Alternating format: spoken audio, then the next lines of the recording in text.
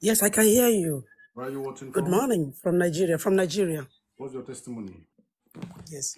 I there was a day you were praying for somebody over visa, and I claimed it immediately because my my son has been, you know, has applied since two years. The, the wife is at uh, US. He applied since that two years. Nobody has even called him. Nothing. So when, after you pray, when you when you pray, I just claim it. Bah. I call my elder daughter. I say, please call your brother. Because that one's in Port, um, Port Harcourt, River State. I said, please your brother. Let him go to his email and check that I have a prophet.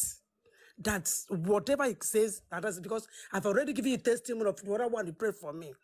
Lo and behold, this morning, my daughter said, called me over the phone, said that he had been calling that his line had been so that he called him this morning, early this morning, and that he's asked him to check his email. That lo and behold, he checked his email.